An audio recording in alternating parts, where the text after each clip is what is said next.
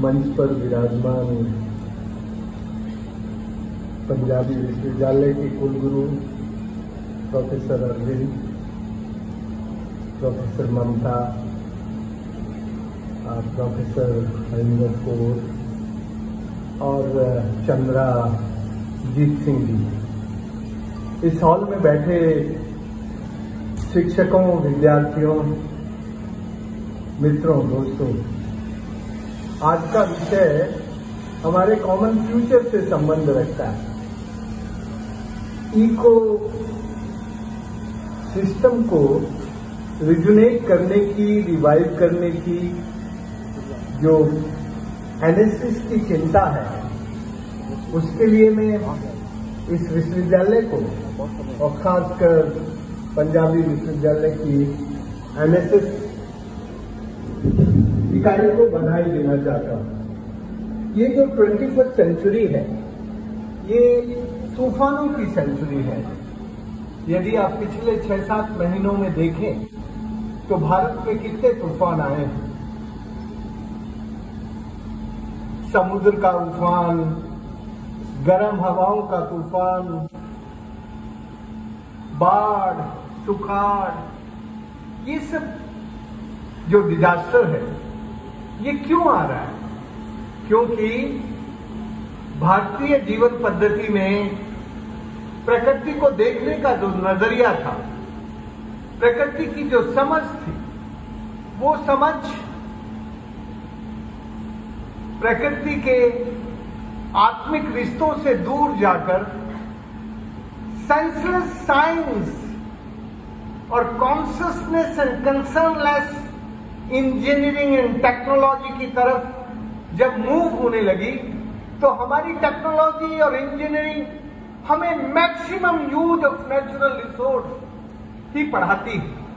और जब हम प्रकृति को भूलकर, अपने भगवान को भूलकर, केवल प्रकृति से लेने का तकनीक और इंजीनियरिंग में बड़ी से बड़ी रिसर्च गहराई से बड़े काम करने लगते हैं तो प्रकृति के साथ हमारे जो रिश्ते होने चाहिए, उनको भूल जाते हैं। दोस्तों, आप जानते होंगे कि भारत के लोग जब तक अपने भगवान को जानते और पहचानते थे, तब तक उनके रिश्ते प्रकृति के साथ प्रेम के थे। भगवान का मतलब क्या? भगवान किसी मंदिर में और गुरुद्वारे में और गिरजाघर में नहीं रहता। भगवान तो हिंदी और संस्कृत में एक शब्द है, भय से भूमि गैस से गगन स्पेस वैसे वायु एयर ऑक्सीजन और से अग्नि, सूरज, और न से नील। ये जो फाइव एलिमेंट है, इन फाइव एलिमेंट से हम इस प्लेनेट को, इस ब्रह्मांड को निर्मित मानते थे। और हम ये मानते थे कि इस प्लेनेट को बनाने वाले फाइव एलिमेंट ही हमें बनाते हैं। इसलिए हमारा रिश्ता इस नेचर के साथ अलग से नहीं था। हमारा रिश्ता इस नेचर को एक्सप्लोइट करने का नहीं था, बल्कि इस नेचर के साथ जीने का था।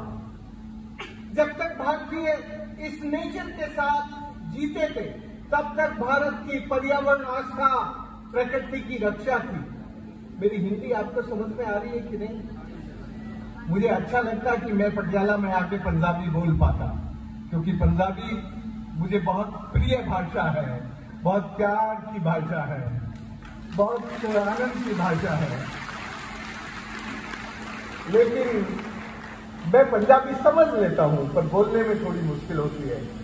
इसलिए मुझे, मेरी लिमिटेशन है कि मैं हिंदी में भी अपनी बात रख सकूँगा दोस्तों, मैं इतना कहना चाहता हूँ कि अभी भी वक्त है। कि भारत का कुछ बिगड़ा नहीं है।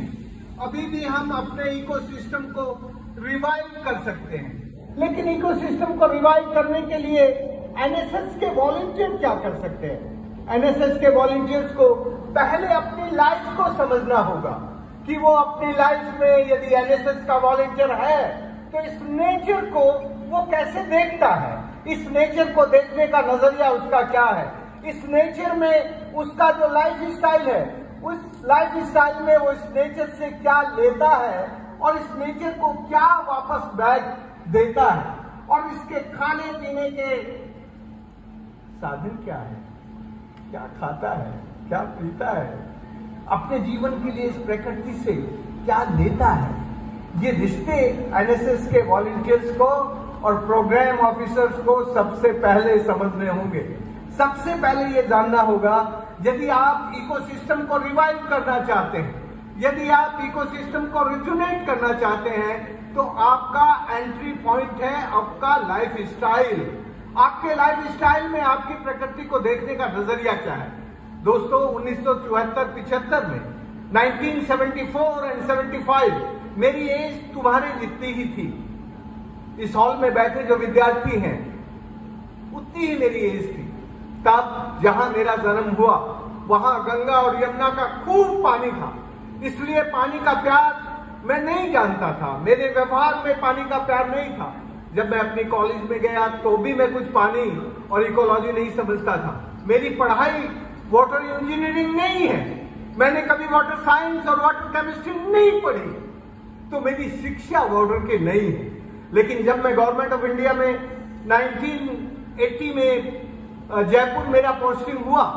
तो चार पाँच साल मैंने देखा कि राजस्थान के लोग पानी को कैसे देखते हैं, उनका पानी का नज़रिया क्या है।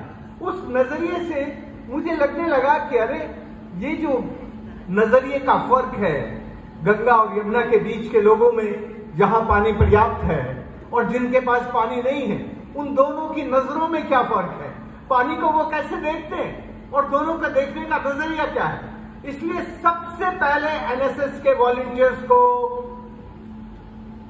वो खुद क्या है? उनका किस तरह के काम में मन लगता है? उनका वो मन एनएसएस की वॉलेंट्री एक्टिविटी में किस तरह से मूव करता है? वो एनएसएस की जो थीम है एनएसएस का जो विजन है उसको अपने विजन के साथ कैसे को रिलेट करते हैं? ये जब हम अपने आप को समझ लेंगे, तब हम एनएसएस को अपने जीवन का हिस्सा बना के फिर अपने इकोसिस्टम के साथ मर्ज कर सकेंगे। दोस्तों, जब मैं राजस्थान गया और भारत सरकार की नौकरी छोड़ के मैंने जो सबसे चैलेंजिंग जगह थी राजस्थान की, जहाँ पर लोग बेपानी होकर उजड़ गए थे, जिनके पास अपने जीवन को चलाने के लिए पानी नहीं मौजूद था। वो सब इलाके बेपानी होकर उजड़ गए थे और जो बूढ़े लोग वहाँ बचे थे, उनको नाइट ब्लाइंडनेस नाम की डिज़ीज़ थी। नाइट ब्लाइंडनेस का मतलब होता है कि जब माल न्यूट्रिशन होता है विटामिन ए की कमी होती है शरीर में तो शाम के वक्त दिखना बंद हो जाता है। दिखता नहीं है। मैं, जैसा मैंने कहा कि मैं पढ़ाई से डॉक्टर था तो मैंने उनका इलाज शुरू किया। और इलाज करने के बाद जब वो लोग ठीक हो गए तो उनमें से एक बूढ़े आदमी ने मुझसे कहा, राजेंद्र, ना तो हमें तेरी दवाई चाहिए और ना तेरी पढ़ाई चाहिए. कोई एनएसएस का वॉलेंटियर गाँव में जाके लोगों से सीखने के लिए आज तैयार है क्या? तुम जो कॉलेज में यूनिवर्सिटी में किताबों में पढ़ते हो, उसी पढ़ाई को उनके ऊपर जाके थोपते हो ना? इसलिए तुम्हारा जुड़ाव गाँव की उस कम्युनिटी के साथ बहुत डिफ़िकल्ट होता है। जब तक आप उन लोगों के साथ with soul and with brain and with hand अपने को कोरिलेट नहीं करोगे, वो तुम पर कोई विश्वास नहीं करेंगे। आप कल्पना कर सकते हैं कि मेरी उम्र तब तक 26 साल हो गई थी। उसका नाम था मांगू काका। मांगू काका ने कहा, और राजेंद्र अब तू आदमी का इलाज मत करे। अब तो तू धरती का इलाज कर। तू धरती का इलाज करेगा तो यहाँ रतौंडी रोग नहीं बचेगा। तू अपनी दवाई से कितने लोगों का ठीक कर देगा? ये तो पूरा इलाका रतौंडी रोग से ग्रसित है।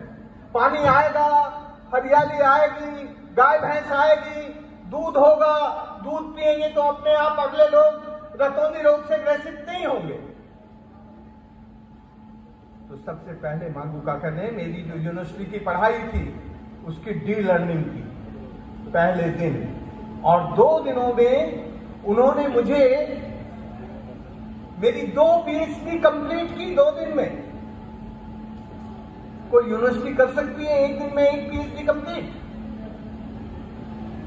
क्योंकि तुम्हें शिक्षा पानी होती है। शिक्षा तो इंफॉर्मेशन के जंजाल से शुरू होती है। फिर थीसिस लिखना है। पोस्ट ग्रेजुएशन करने के बाद फिर तीन साल थीसिस लिखने में लगाना है। डेटा कलेक्शन वगैरह वगैरह वगैरह। और पीएचडी करने के बाद वो जो पीएचडी की डिग्री जो किताब है, वो एक सुंदर अलमारी में लगा देते हैं। पीएचडी जिस विषय में किया, उस काम को भी नहीं करते। वो काम भी भूल जाते हैं। पीएचडी किसी और विषय में किया है, काम कुछ और कर रहे हैं।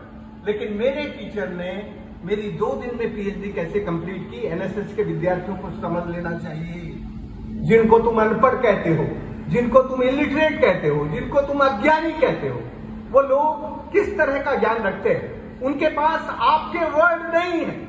आपकी यूनिवर्सिटी में जो वर्ड आप अपनी वोकेबलरी में यूज़ करते हैं, वो गाँव के अनपढ़ लोगों के वर्ड नहीं हो सकते। पहले दिन उसने मुझे जियो हाइड्रो साइंस में मेरी पीएचडी कंप्लीट की। पुराने जमाने में चमड़े के चरस होते थे, जिससे मोट कहते थे कुएँ से पानी निकालने के लिए। उस मोट में बैठा के डेढ़ सौ फीट गहरा कुआ जो सूखा था, जिसमें पानी नहीं था, उसमें नीचे पटक दिया।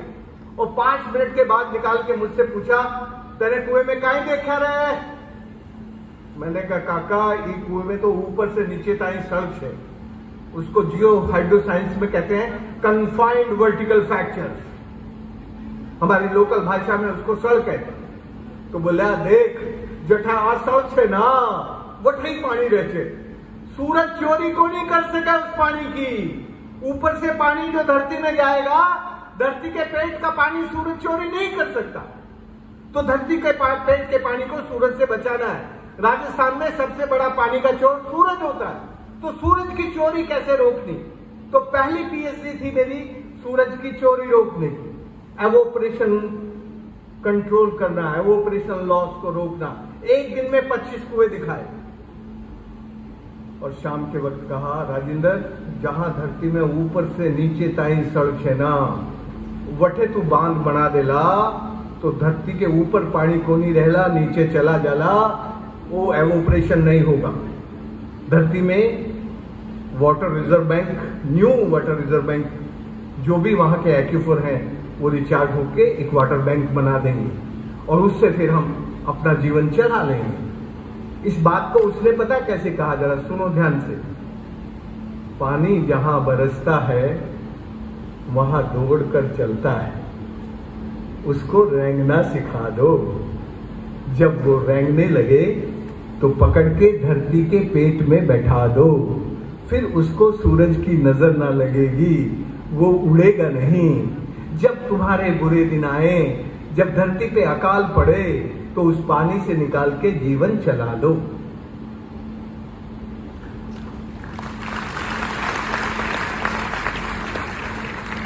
ये थी जियो हाइड्रो साइंस की पीएचडी। दूसरे दिन नेचुरल इंजीनियरिंग में।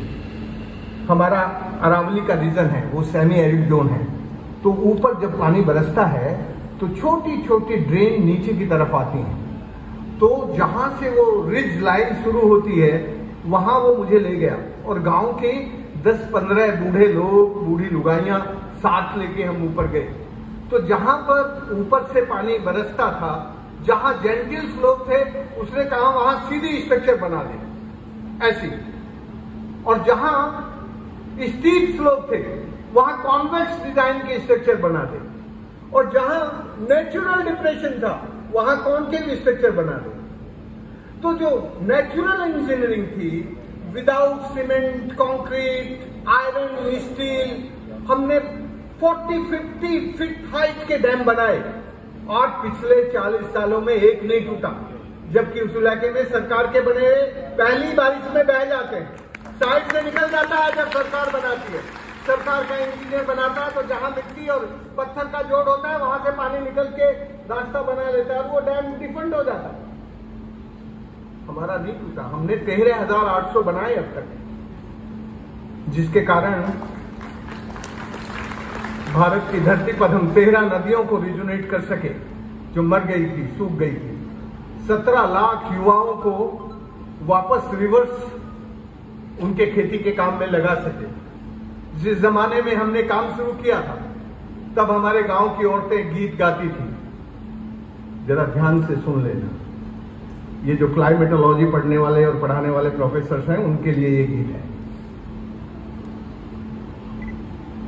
बादल तो आते हैं हर साल मेरे गाँव में, पर रूट कर चले जाते हैं कहा, मैं नहीं जानती। जब से बादलों ने रूठना शुरू किया, मेरा जवान बेटा और मेरे बेटे की बहू भी रूठ कर दिल्ली चले गए। अब न जाने वो दिल्ली में कहा रहते होंगे। मेरे खेत में पानी नहीं, कुएँ में पानी नहीं, और मेरी जिंदगानी में।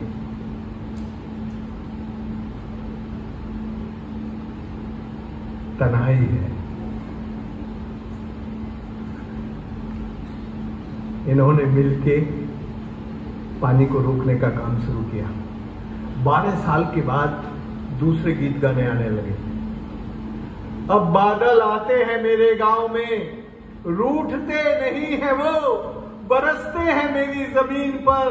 पानी आ गया है मेरे कुएँ में, मेरे खेतों में हरियाली है। मेरा बेटा और बहू भी लौट आए हैं घर। करते हैं खेती, मेरे खेत की हरियाली। अब बन गई है मेरे जीवन की खुशहाली। अब ये जो क्लाइमेटोलॉजी की भाषा है उस भाषा में तो इसका एक शब्द नहीं है, ना एक कैलकुलेशन है बट ये रियल जलवायु परिवर्तन की, विज्ञान की सेंस है। The science with sense science with common sense इसी में से हम समझ सकते हैं कि हमारा इस प्लेनेट पर चार तरह की हीट है। सूरज से निकलने वाली रेड हीट जब समुद्र के ऊपर पड़ती है तो समुद्र के खारे पानी को डिसेलिनेट करके ब्लू हीट में चेंज हो जाती है। ब्लू हीट का मतलब है बादल। और उस बादल में जो गैस है, वो H2O है। वो जो गैस है, वो हमेशा ग्रीन हीट की तरफ़ जाती है। ग्रीन हीट कहाँ होती है? ग्रीन हीट होती है जंगलों में और हरियाली में। जो सूरज की गर्मी आती है, वो पत्तियों से ट्रांस ऑपरेशन करके। पत्तियों से ट्रांस ऑपरेशन करके नीचे के मॉइस्चर को ऊपर एटमोस्फेयर में लेके आती है। वो जो एटमोस्फेयर का मॉइस्चर है, वो माइक्रो क्लाउड फॉर्मेशन करता है। वो जो माइक्रो क्लाउड्स हैं, वो हमेशा मैक्रो क्लाउड्स को अपनी तरफ़ बुलाते हैं। और जब माइक्रो क्लाउड्स और मैक्रो क्लाउड्स मिलते हैं, तब बारिश होती है। तो अभी आपने तीन हीट पड़ी रेड हीट सूरज से आती है। वो जब नंगी धरती पे पड़ती है तो रेड हीट ही रेड हीट होती है वो भी। यदि वो समुद्र के ऊपर होती है तो समुद्र के खारे पानी को मीठा करके ब्लू हीट में बदल जाती है। वो यदि जंगल के ऊपर पड़ती है तो जंगल से ट्रांसएवोपरेशन और O2 का उत्सर्जन करके वो ग्रीन हीट बन जाती है। हीट का सोर्स तो केवल सूरज है। लेकिन ये हीट अपने करेक्टर को बदलती है। जब ये ब्लू हीट और ग्रीन हीट मिलते हैं तो वर्षा होती है। और वो जो वर्षा का पानी है, वो मिट्टी में मिलकर, मिट्टी में जो भी कुछ सीड्स है, जो भी कुछ रूट स्टॉक्स है, वो रिजुनेट होने लगते हैं।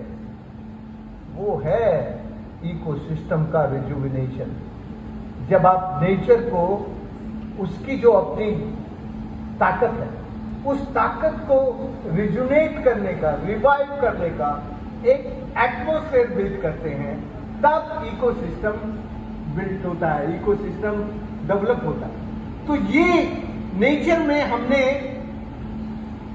किसी एक दो गाँव में नहीं, एक हज़ार तीन सौ गाँव में ये काम किया। दस हज़ार छह सौ स्क्वायर किलोमीटर ज़मीन पर जो भारत सरकार के रिकॉर्ड में 1980 में डार्क जोन लिखी थी, अभी वो व्हाइट जोन हो गई। अभी वहाँ बादल आते हैं, बरसते हैं, और जहाँ खेती नहीं होती थी, पशुपालन नहीं होता था, अभी वहाँ के जवान लड़के खेती भी करते हैं और पशुपालन भी करते हैं। पानी के बिना खेती होगी क्या? पानी के बिना पशुपालन होगा क्या? पानी के बिना नदी बहेगी क्या? दोस्तों, मैंने आपसे कहा कि इकोसिस्टम को जब हम नेचर के साथ जोड़ के देखते हैं, तब दुनिया के किसी भी आप धर्म को देख लें, जो इस प्लेनेट पर है, ये सारे के सारे धर्म प्रकृति के चारों तरफ़ घूमते हैं नेचर के चारों तरफ़, कुदरत के चारों तरफ़। आप गुरुवाणी को देखिए ना, सम्मान के सहित देखिए। गुरुवाणी के जो आदेश और संदेश है, गुरु नानक ने जो अपने लोगों को दिए, वो सब प्रकृति के, कुदरत के सम्मान के गीत है। सम्मान की बोली है, सम्मान की भाषा है। तो जब कोई धर्म बनता है, तब वो प्रकृति के सम्मान के साथ बनता है। जब धर्मों के संगठन बनने लगते हैं तो वो सत्ता की दलाली में जुट जाते हैं। फिर सारे विधर्म के काम करने लगते हैं। धर्म तभी तक जीवित रहता है जब तक उसका कोई अपना संगठन नहीं होता। ये जो धर्म के नाम पर संगठन बनते हैं, ये सबसे खतरनाक होते हैं। दोस्तों, मैं आपसे इतना कहना चाहता हूँ कि यदि आप अपने धर्म को इस ecosystem eco revival eco rejuvenation के साथ जोड़ के देखेंगे तो आपका धर्म आपको बहुत सारी शिक्षा आपके जीवन में दे देगा। जैसे मैंने कहा, भगवान, जब तक हम इस भगवान को जानते और पहचानते थे, भय से भूमि गैस से गगन वैसे वायु, आ से अग्नि और न से नीर जब तक हम इस भगवान को जानते थे भारत के लोग, तब तक हम नीर नारी और नदी को नारायण मानते थे। नारायण मानने का मतलब आपको मालूम है क्या है? नारायण मानने का मतलब है सम्मान, केवल सम्मान। हम उसका नीर माने लाइफ वोटर जल। नारी माने स्त्री वुमन अर्थ नेचर जो नई लाइफ को क्रिएट कर सके। नारी माने क्रिएटर नया जन्म देने वाली। और नदी लाइफ के all flow civilisational flow cultural flow spiritual flow financial flow अरे पंजाब के पास यदि ज़्यादा अनाज पैदा होता है तो क्यों होता है? क्या पंजाब की नदियों के बिना पंजाब ज़्यादा पैदा कर सकता है?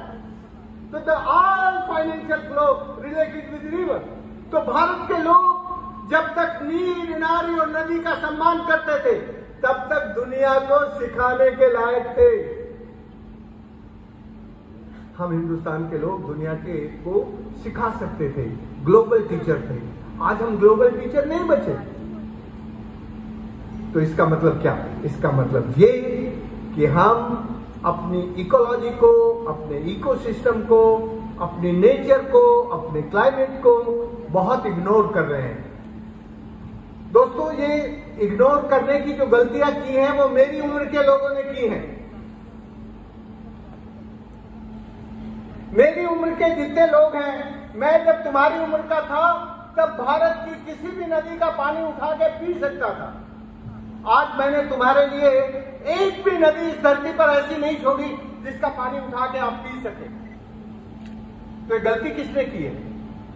कौन है कल्प्रिट मेरी उम्र के लोग हैं, क्योंकि उन्होंने जब वो अच्छा काम कर सकते थे, जब वो अपनी प्रकृति को प्यार करके अपनी नदियों को हेल्दी रख सकते थे, अपनी धरती को ज़िंदा रख सकते थे, तब उन्होंने वो काम नहीं किया। आप भी वही करना चाहते हैं क्या? मैं एनएसएस के वॉलेंटियर से पूछ रहा हूँ, आप क्या करना चाहते हैं? प्यारे बच्चों, मैं जानता हूँ कि हमारे बच्चे हमें माफ़ नहीं करेंगे, क्योंकि मेरे दादा ने, परदादा ने जैसी सुंदर नदियाँ मुझे दी थी, वैसी नदियाँ मैं अगली जनरेशन को नहीं लेके जा रहा हूँ।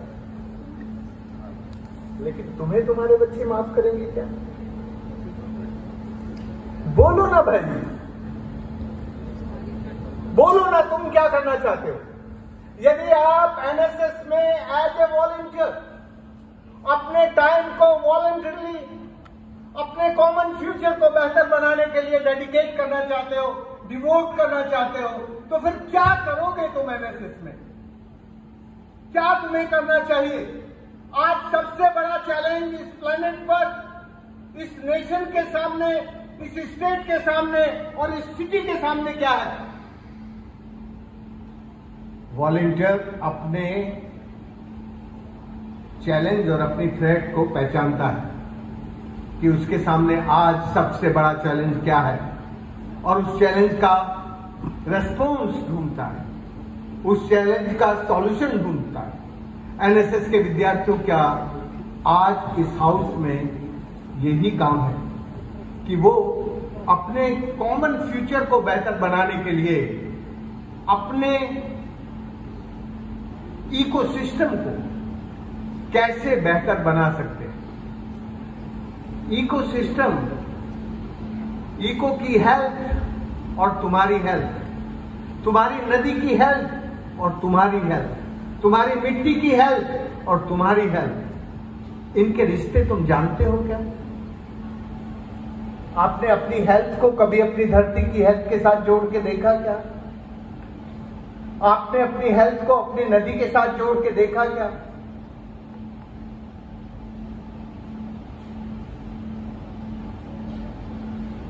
मुझे लगता है मेरी बात आपको समझ में नहीं आ रही है। इसलिए आप रेस्पॉन्ड नहीं कर रहे हैं। हैं? आ रही है? तो फिर जवाब क्यों नहीं दे रहे अभी कुलगुरु यहाँ विराजमान है वीसी साहब विराजमान है, आप चिंता ना करिए। जिसको जो जवाब देना है मुझे दीजिए, क्योंकि ये मैं केवल यहाँ प्रवचन करने नहीं आया हूँ, भाषण देने नहीं आया हूँ। मैं पटियाला यूनिवर्सिटी के विद्यार्थी, अपने एनएसएस में कुछ बुनियादी काम कर सके, कुछ बेहतर काम कर सके। आपके काम से सीख लेकर हिंदुस्तान की दूसरी यूनिवर्सिटी भी कुछ काम कर सके, वो बात करने आया हूँ। और दोस्तों, मैं बात नहीं करता हूँ। मैंने जो अपनी ज़िंदगी में काम किया, मैं केवल वो एक्सपीरियंस शेयर कर रहा हूँ। इसलिए मैंने अपने एक्सपीरियंस को बहुत शॉर्टकट में पाँच पाँच मिनट में खत्म किया। मैं आपके साथ डायलॉग करना चाहता हूँ कि आप पटियाला यूनिवर्सिटी के एनएसएस के विद्यार्थी, अपना फ्यूचर प्लान अपना फ्यूचर एक्शन अपनी फ्यूचर एक्टिविटी सबसे अच्छी क्या मानते हैं? मैंने आपको कहा कि इस वक्त इस प्लेनेट पर क्लाइमेट चेंज और ग्लोबल वार्मिंग की थ्रेट है। पंजाब को कैंसर का रोगी कहा कहलाता है। पंजाब की नदियाँ हिंदुस्तान की नदियों में सबसे ज़्यादा दूषित है। बीमार है। जब भारत की नदियाँ बीमार हों और भारत के लोग नदियों को माँ कहते हो तो नदियों का इलाज कराना चाहिए कि नहीं? यदि माँ कहते हो तो नदी के साथ माँ जैसा व्यवहार करना चाहिए कि नहीं? तो फिर कैसे करोगे? यदि आप अपनी नदी के साथ माँ जैसा व्यवहार करना चाहते हो तो क्या एक्शन पॉइंट बनता है आपका? सबसे पहला एक्शन पॉइंट ये बनता है कि आप जिस घर में रहते हैं, उस घर का अच्छा पानी और गंदा पानी दोनों अलग अलग हो।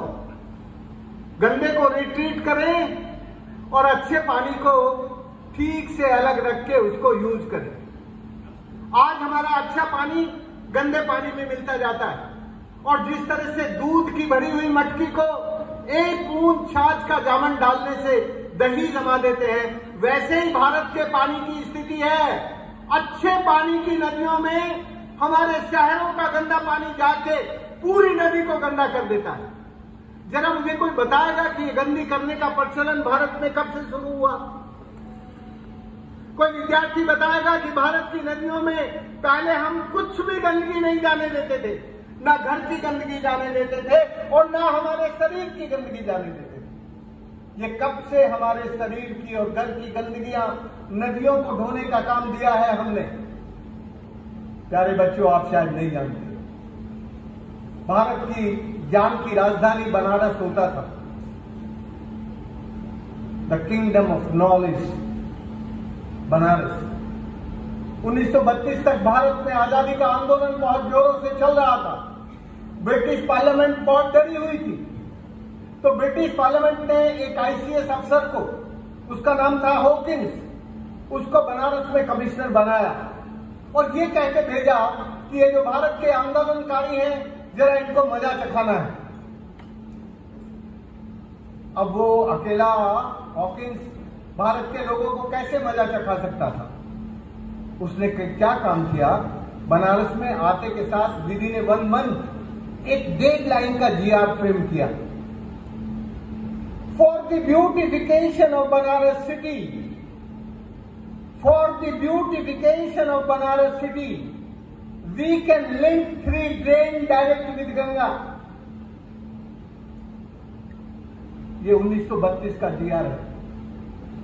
1932 के इस डीआर का इंपैक्ट ये हुआ कि आज पूरे भारत में सारे शहर the all government institution municipal corporation and panchayat अपना सारा गंदा पानी नदियों में डालती इन सरकारी संस्थाओं को किसने ये राइट दिया है? वो डेड लाइन का डीआर है ऑफ़िस का इन अफसरों को दिखाने के लिए। कि पहले से गंदा पानी आ रहा था नदी में, मैं क्या करूँ? मैं भी डाल नो बड़ी आज का हमें क्यों बीमार बना 1932 में जब ये जीआर आया तो पंडित मदन मोहन मालवीय हिंदू विश्वविद्यालय बना रहे थे, बनारस में। उनको पता चला तो वो अपने पाँच छह टीचर्स के साथ हॉकिंस को मिलने गया। ये जो आईसीएस होता है ना, ये बहुत बहुत ही बहुत ही, अब मैं क्या ब्राइट कहूँ, क्या कहूँ, मेरे पास उसके सुंदर शब्द नहीं है, चलिए छोड़ देता हूँ। उसको, वो समझ गया कि पंडित मदन मोहन मालवीय बहुत नाराज़ है। और वो बहुत पावरफुल अथॉरिटी थे। तो जैसे ही पंडित जी एंटर हुए उनके दफ्तर में तो पंडित जी ने कहा, mister Hawkins you know what is my relation with Ganga तो हॉकिंस ने कहा yes sir I know my lord the Ganga is your mother but you tell me what we can do the only way for the beautification of Banaras city my government gives the 20 lakh rupees for this. So you can decide if you want the beautification of city. So the only way. Pandit ji बहुत नाराज़ हुए पंडित जी ने कहा mister Hawkins You don't know. I never seen the beauty of my mother. I always seen the love of my mother. मैंने तो अपनी माँ का चेहरा कभी सुंदरता की दृष्टि से नहीं देखा। मैं तो अपनी माँ को ऐसे देखता हूँ कि वो मुझे कैसा प्यार करती है। इतने में ही उनके साथ जो दूसरे प्रोफेसर थे, उन्होंने काम में धीरे से कहा पंडित जी से, पंडित जी, ये बीस लाख रुपया आया है। इसको लग जाने दो ना बनारस में। लोगों को रोज़गार मिल जाएगा, लोगों को पैसा मिल जाएगा। कुल गुरु जी ये जो हमारा अट्रैक्शन ऑफ़ डेवलपमेंट है, ये जो हमारा अट्रैक्शन ऑफ़ ब्यूटिफिकेशन है, ये बड़ा डिजास्टर है। यही सबसे बड़ी थ्रेट है इस मॉडर्न इकोसिस्टम पर। हमारे रिश्ते टूट गए। फाइनली आज जब आप बनारस जाओगे तो ये जो लोहे का पुल है ना, बनारस में उसके थोड़ा ऊपर की तरफ़ देखेंगे कि वो तीनों ड्रेन आज भी उसी तरह से गंगा में मिलती है। आज़ादी के कितने साल हो गए? पिछहत्तर साल। तीनों ये जो प्रोफेसर गए थे, उन्होंने कहा, इस पैसे को लग जाने दो, जब हम आज़ाद होंगे, तब इस ड्रेन को तोड़ देंगे, तब हम गंगा में से हटा देंगे। आज तक नहीं है। आज भी वो सारे का सारा गंदा पानी वैसे के वैसे गंगा में जाता है। तो ये जो गंगा और ये जो नदियाँ हैं, इनको जो गंदा करने का चलन हुआ वो हमारा हॉकिंस का पहला फ़र्स्ट ऑर्डर था, उसके बाद से पूरे भारत में सब नदियों में गंदगी जाने लगी। और म्यूनिसिपल कॉर्पोरेशन क्योंकि वो तो दिया था गवर्नमेंट का ऑर्डर था, उसके बाद से ये सब नदियों में गंदगी जाने लगी। तो क्या हम अपने शहर की नदी में गंदा पानी जाने से रोक सकते हैं? क्या क्या हम अपने म्यूनिसिपल कॉरपोरेशन के कमिश्नर को और मेयर को मिलकर कह सकते हैं कि भाई तुम हमें ये गंदा पानी हमारी नदी में मिला के बीमार कर रहे हो तो तुम्हें फांसी क्यों नहीं लगनी चाहिए?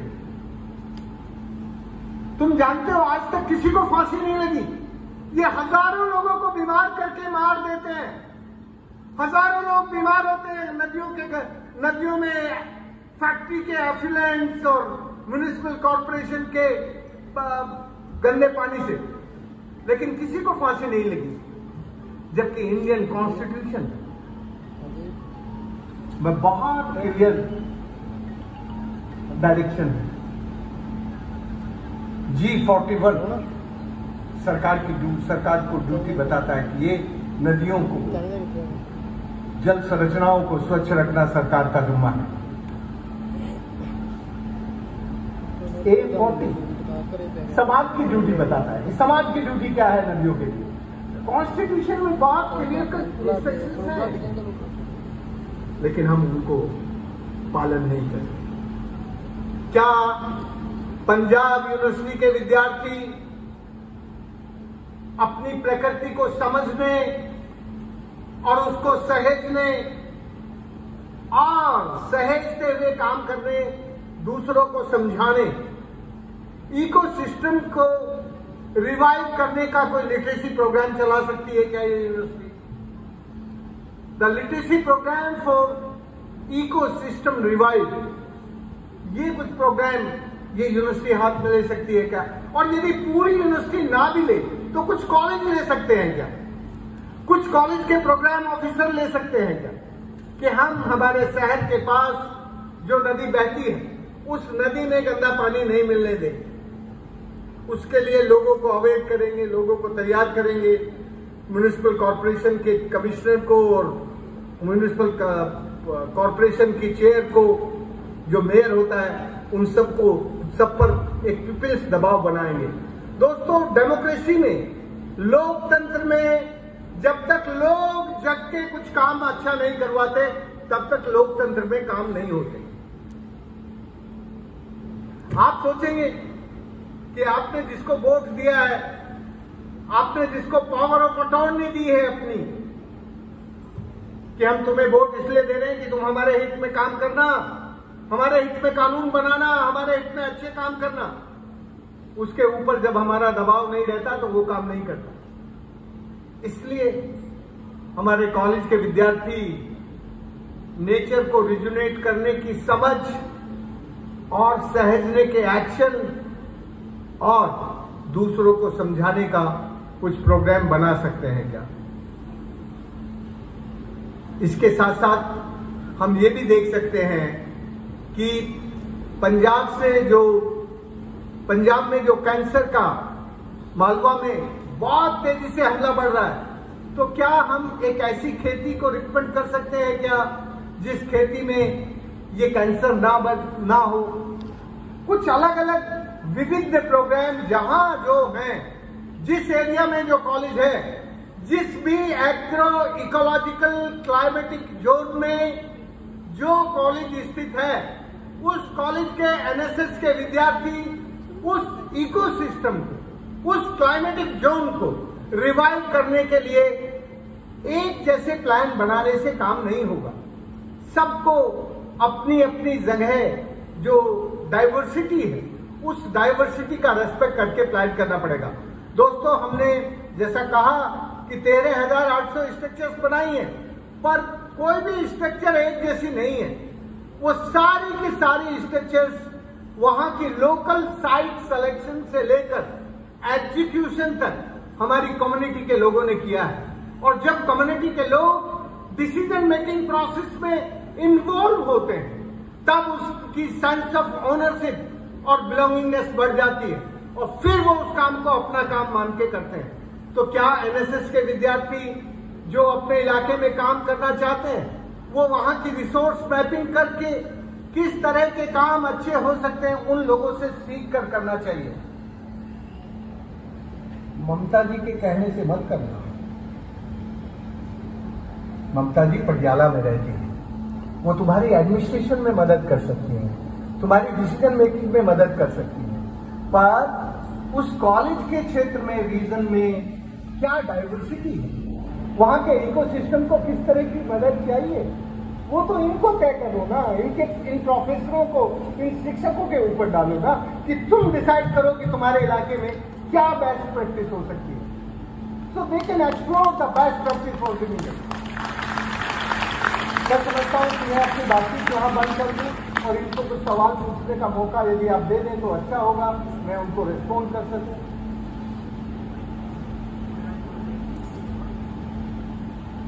किसी के मन में कोई सवाल हो मुझसे पूछने का तो ज़रूर पूछिए।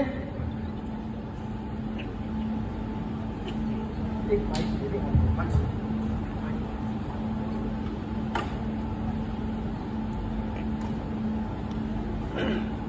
दे मुझसे पूछ सकते हैं कि आप अपने कॉलेज में अपने जियो कल्चरल डाइवर्सिटी का रेस्पेक्ट करके, अपनी एग्रो इकोलॉजिकल क्लाइमेटिक डाइवर्सिटी का रेस्पेक्ट करके किस तरह के काम आप अपने कॉलेज के द्वारा शुरू कर सकते हैं। बड़े काम मत हाथ में लेना। बड़े कामों से लाभ नहीं होता। बड़े काम शुभ के लिए नहीं होते। इसलिए हम ऐसा काम चुने जिससे समाज का भला होता हो।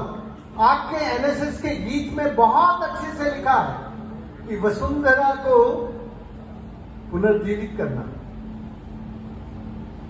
आपका एनएसएस आपकी वसुंधरा को रिजोनेट करने का गीत गाता है। तो आप अपने इकोसिस्टम को, अपनी इकोलॉजी को, अपनी क्लाइमेट को समझकर किस तरह के प्रोग्राम डिसाइड करेंगे जरा दिमाग लगा के आपको लगता है मुझसे कुछ पूछना है तो ज़रूर पूछ लीजिए नहीं तो मैं अपनी बात खत्म करूँ।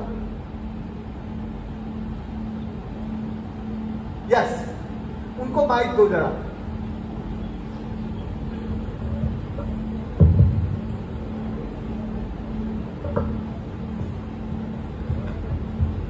सत श्रीकाल सर जी। सत श्रीकाल सर कल गर्मी ज़्यादा सी ਆਪਣੀ ਓਜ਼ੋਨ ਪਰਤ ਹੈ ਜੋ ਖਤਮ ਹੋ ਰਹੀ ਆ ਅਸੀਂ ਉਹਨੂੰ ਬਚਾਉਣ ਲਈ ਕੀ ਕਰ ਸਕਦੇ ਹਾਂ देखिए जब आपकी धरती पर हरियाली बढ़ती है तो उस हरियाली में कार्बन के सिक्वेस्ट्रेशन की क्षमताएं बढ़ जाती तो जो आपकी ओजोन लेयर को हर्ट करती है नुकसान करती है वो उसमें वो गति रुक सकती है इसका मतलब आज आपको भारत भूमि पर नहीं बल्कि पूरी दुनिया में कार्बन को सिक्वेस्ट्रेशन करने वाली परिस्थितियाँ पैदा करनी पड़ेंगी, हरियाली बढ़ानी पड़ेगी, और मिट्टी की हेल्थ नदियों की हेल्थ इसको भी हमें ठीक करना पड़ेगा। तो आप ओजोन लेयर की बात कर सकते हैं। ओजोन लेयर हमसे दूर है। हमें पहले ये देखना चाहिए कि हम पंजाब में जहाँ हमारा कॉलेज है, उस कॉलेज के आसपास ऐसा क्या काम करें जिससे अगले बच्चे भी इस काम से सीख ले सके? और जिन लोगों के साथ, जिस समाज को आप अपने गीत में जागृत करना चाहते हैं, जिस समाज को आप काम के लिए जगाना चाहते हैं, उसको भी ये लगे कि अरे, ये कॉलेज के बच्चों ने एक अच्छा काम शुरू किया है। चलो, हम भी इनके साथ जुड़ते हैं। इसलिए अभी ओजोन तुम्हारे से थोड़ा ऊपर है। उसकी चिंता अभी छोड़ दो। अभी तुम कॉलेज में पढ़ रहे हो। लेकिन एक बात ध्यान रखो चिंता में कि आप वैसा ही काम करो जो ओजोन को हर्ट ना करता हो। वो है हरियाली बढ़ाने का। लेकिन तुम अपने कॉलेज का प्लानिंग सोचो कि तुम्हारे कॉलेज में एनएसएस की यूनिट क्या काम करे। हसीकाल सर सर हसीकाल जी। ਸਰ, ਮੈਂ ਤੁਹਾਡੇ ਤੋਂ ਇਹ ਕੁਐਸਚਨ ਪੁੱਛਣਾ ਚਾਹੁੰਦਾ, ਜਿਵੇਂ ਕਿ ਤੁਸੀਂ ਸਰ ਸਾਨੂੰ ਇੱਕ ਮੋਟੀਵੇਟ ਕੀਤਾ ਜੀ ਸਾਰੇ, ਮਤਲਬ ਕਿੱਦਾਂ ਅਸੀਂ এনवायरमेंट ਨੂੰ ਸੇਵ ਕਰ ਸਕਦੇ ਹਾਂ। ਪਰ ਸਰ ਦਿੱਕਤ ਇਹ ਆਉਂਦੀ ਆ, ਅਸੀਂ ਤੁਹਾਡੇ ਤੋਂ ਮੋਟੀਵੇਟ ਹੋ ਕੇ ਜਦੋਂ ਸਰ ਅਸੀਂ ਗਰਾਊਂਡ ਲੈਵਲ ਤੇ ਇਹਨੂੰ ਇੰਪਲੀਮੈਂਟ ਕਰਾਂਗੇ ਜਾ ਕੇ, ਤਾਂ ਸਰ ਅਸੀਂ ਪਹਿਲੇ ਪੁਆਇੰਟ ਤੇ ਹੀ ਜਾ ਕੇ ਫੇਲ ਹੋ ਜਾਂਦੇ ਹਾਂ ਜਿੱਦਾਂ ਸਰ ਤੁਸੀਂ ਮਿਊਨਿਸਪਲ ਕਾਰਪੋਰੇਸ਼ਨ ਦੀ ਇੱਕ ਬਹੁਤ ਵਧੀਆ ਐਗਜ਼ਾਮਪਲ ਦਿੱਤੀ ਸੀ ਜੀ ਵੀ ਪਾਣੀ ਆ ਜਿਹੜਾ, ਉਹ ਸਾਡੀਆਂ ਦਰਿਆਵਾਂ 'ਚ ਜਾਂ ਨਦੀਆਂ 'ਚ ਜਾ ਰਿਹਾ ਜੀ। ਪਰ ਸਰ, ਜਦੋਂ ਕਿ ਗਵਰਨਮੈਂਟ ਆਫ ਇੰਡੀਆ ਨੇ ਬਹੁਤ ਸਾਰਾ ਪੈਸਾ, ਉਹ ਜਿਹੜਾ ਸਾਡਾ ਸੀਵਰੇਜ ਟ੍ਰੀਟਮੈਂਟ ਪਲਾਂਟਸ ਸਰ ਲਾਏ ਹੋਏ ਨੇ ਜੀ, ਸਾਰੇ ਸ਼ਹਿਰਾਂ ਦੇ ਵਿੱਚ। ਪਰੰਤੂ ਸਰ, ਜਦੋਂ ਅਸੀਂ ਲੋਕਾਂ ਨੂੰ ਅਵੇਅਰ ਕਰਦੇ ਆ ਕਿ ਤੁਸੀਂ ਇੱਕ ਸੀਵਰੇਜ ਦਾ ਕਨੈਕਸ਼ਨ ਲਓ ਜਾਂ ਸਰ ਅਸੀਂ ਆਪਦਾ ਜਿਹੜਾ ਪਾਣੀ ਆ ਵੇਸਟ ਉਹ ਸਰ ਸੀਵਰੇਜ ਦੇ ਵਿੱਚ ਪਾਉਣੇ ਆ ਤਾਂ ਸਰ ਫਿਰ ਉਹ ਜਿਹੜੀ ਗਵਰਨਮੈਂਟ ਦੀ ਇੱਕ ਜ਼ਿੰਮੇਵਾਰੀ ਹੈ ਜੀ ਤੇ ਸਰ ਉਹ ਕਿਉਂ ਨਹੀਂ ਨਿਭਾ ਰਹੇ ਜੀ ਮਤਲਬ ਸਰ ਉਹ ਕੇਸ 'ਚ ਅਸੀਂ ਕੀ ਕਰ ਸਕਦੇ ਹਾਂ देखो अभी गवर्नमेंट तो नहीं निभा रही है अपनी जिम्मेदारी तभी तो हम चिंता के लिए बैठे हैं इसलिए उस मुद्दे को अभी तुम थोड़ा पीछे छोड़ दो गवर्नमेंट जब मोटिवेट होगी तब करेगी कर लेगी अभी गवर्नमेंट को एकदम से हम मोटिवेट करने लगेंगे, थोड़ा डिफ़िकल्ट होगा। हमें ये देखना है कि हम फेल ना हो अपने काम में।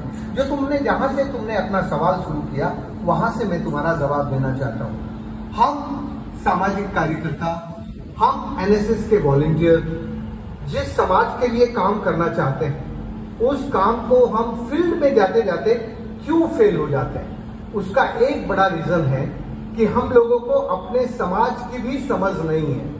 हमारे समाज में पाँच तरह के लोग होते हैं। पाँच तरह के।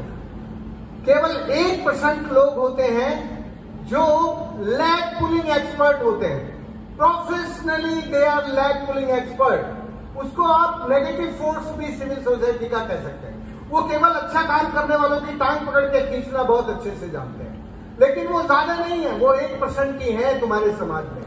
चार परसेंट लोग होते हैं जो अपॉर्चुनिस्ट होते हैं। जहाँ देखी तया परात वहाँ गवाई सारी रात। They are really expert of the power brokery ये सत्ता की दलाली के माहिर होते हैं। नब्बे परसेंट लोग आज भी भारत के समाज में ऐसे हैं जो किसी का बुरा नहीं करते और ना बुरा सोचते और ना बुरे काम में शामिल होना चाहते। लेकिन ये कभी किसी का अच्छा भी नहीं करते। समझ में आई बात? तो ये कौन लोग हैं? उनको तुम्हारी ज़रूरत है। इन 90 प्रतिशत लोगों को तुम्हारी ज़रूरत है। उनके अंदर एक कॉन्फिडेंस उनके अंदर एक लव एंड रेस्पेक्ट और उनके अंदर एक एक्शन का ट्रस्ट विकसित करने की ज़रूरत है। इसीलिए एनएसएस के वॉलेंटियर्स का रोल शुरू होता है। ये जो 90 परसेंट लोग हैं इनमें जब ये कॉन्फिडेंस आएगा कि ये बच्चा कॉलेज से आया है, हमारे लिए कुछ अच्छा करना चाहता है तो वो आपके साथ जुड़ जाएँगे। नहीं तो आप कितने भी धुरंधर हो, आप उनके लिए सफल नहीं हो सकते। जब तक उनको कॉन्फिडेंस तुम्हारे ऊपर नहीं होगा, जब तक उनको विश्वास तुम्हारे ऊपर नहीं होगा, तब तक तुम सफल नहीं हो सकते। तो देखो, एक तो हुआ एक परसेंट हुआ नेगेटिव चार परसेंट हुआ अपॉर्चुनिस्ट और नब्बे परसेंट है सज्जन लोग, अच्छे लोग। और ये चार परसेंट लोग हैं रियली रियली मोटिवेटर जो लोगों को अच्छा काम करने के लिए तैयार करते हैं अच्छा काम करने के लिए प्रेरित करते हैं। तो क्या एनएसएस के वॉलंटियर्स और एनएसएस का प्रोग्राम ऑफिसर इन चार परसेंट में शामिल हो सकता है क्या? जरा देखो तुम्हारा रोल कहाँ है। तुम एज ए एनएसएस वॉलंटियर क्या कर सकते हो? तो तुम ये जो फोर परसेंट है motivator of the civil society इसमें वॉलंटियर और प्रोग्राम ऑफिसर यदि अपने को शामिल करता है तो फिर समाज में पॉजिटिव फोर्सेज एक्टिव होते हैं। और ये जो पॉजिटिव फोर्सेज हैं, ये फिर काम को आगे बढ़ाते हैं। तो देखो, एक परसेंट चार परसेंट नब्बे परसेंट और चार परसेंट अभी कितना बचा? एक परसेंट ये जो एक परसेंट था, ये पुराने जमाने में गुरु होता था, गुरु। क्या होता था?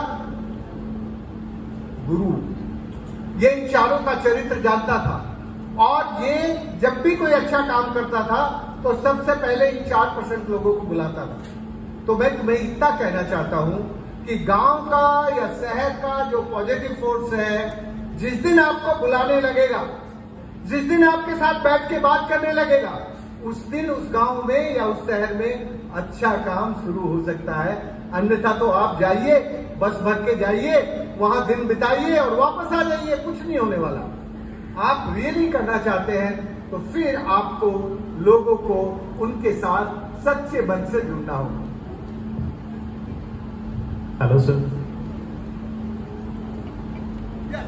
सर मेरा क्वेश्चन है कि जैसे गवर्नमेंट की बहुत सारी पॉलिसीज़ हैं ग्लोबल वार्मिंग को कंट्रोल करने के लिए या कार्बन एमिशंस को कंट्रोल करने के लिए, उससे हटके हम एनएसएस वॉलंटियर्स अपनी तरफ़ से ग्राउंड लेवल पे क्या कर सकते हैं कि हम ग्रीन हाउस गैसेस की जो कंसंट्रेशन हैं या अमीशन हैं, उनको कंट्रोल कर सकें और ग्लोबल वार्मिंग को कंट्रोल करने में कुछ अपना हिस्सा अदा कर सकें। एनएसएस वॉलंटियर्स को सबसे पहले अपना लाइफ स्टाइल प्रो नेचर बनाना पड़ेगा। So first entry point in your lifestyle second जिस एरिया में तुम्हारा कॉलेज है और कॉलेज काम करना चाहता है, उस इलाके को समझना पड़ेगा कि उस इलाके की नीड क्या है फैक्ट नीड क्या है। समाज हमसे क्या अपेक्षा रखता है? समाज हमसे क्या चाहता है? तो आप उस समाज के साथ डिस्कशन करके अपने काम का, अपनी एक्टिविटी को डिसाइड करिए। राजेंद्र सिंह से एक्टिविटी मत पूछिए। वो एक दिन के लिए पंजाब आया है। राजेंद्र सिंह को कोई राइट नहीं है कि वो पटियाला कॉलेज के विद्यार्थियों को उनकी एक्टिविटी बताए। राजेंद्र सिंह केवल केवल आपके सामने चैप्टर ओपन कर सकता है कि इसमें से आपको चुनना है। कि आपको क्या करना और क्या नहीं करना। दोनों चीज़ें आप तय कर सकते हैं कि आपको क्या करना चाहिए और क्या नहीं करना चाहिए। इसलिए मैं आपको इतना बताना चाहता हूँ कि यदि आप रियली काम करना चाहते हैं तो अपनी सिविल सोसाइटी में जाइए उनके साथ बैठिए और उसमें बूढ़े जवान महिलाएँ सब तरह के लोग हो उनके साथ डिस्कशन करिए। उसमें से आप अपनी एक्टिविटी चूज़ करिए। Thank you sir yes